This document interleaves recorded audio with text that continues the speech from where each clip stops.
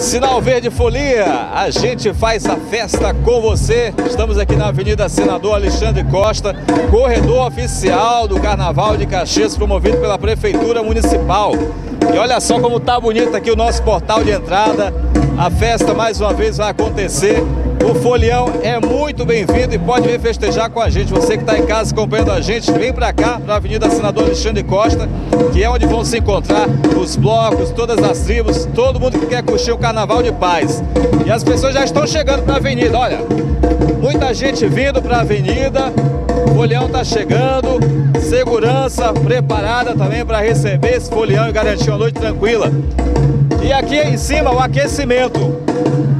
Os músicos da Fabrícia e Banda estão se aquecendo, porque daqui a pouquinho Fabrícia vai brilhar aqui nessa avenida fazendo um showzão do jeito que o Caxiense merece. Vamos ver se a gente fala com algum folião aqui.